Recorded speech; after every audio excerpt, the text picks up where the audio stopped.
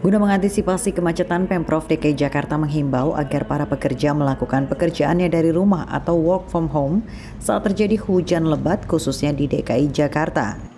Imbauan ini disampaikan penjabat Gubernur DKI Jakarta Heru Budi Hartono di Balai Kota Rabu pagi. Imbauan menurut Heru berlaku untuk seluruh pekerja di DKI Jakarta namun imbauan UFH diserahkan kembali kepada masing-masing perusahaan.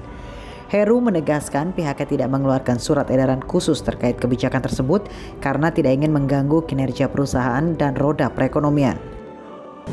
Cuma satu minggu itu kita serahkan kepada mekanisme di lapangan supaya tidak terganggu uh, kinerja mereka, tidak terganggu juga proses ekonomi. Jadi kembali lagi pada kebijakan masing-masing perusahaan. Ya, ya, kita lihat kan tidak semuanya spot-spot itu uh, harus work from home. Jadi kita lihat kondisi ekstrim, silakan ambil kebijakan masing-masing. Meski tetap bekerja dari kantor saat hujan lebat, para pekerja diminta untuk memilih jalur yang aman untuk mencapai tempat tujuan. Diprediksi musim hujan akan berlangsung hingga awal tahun 2023 mendatang. Muhammad Heri Mustafa, Jak TV.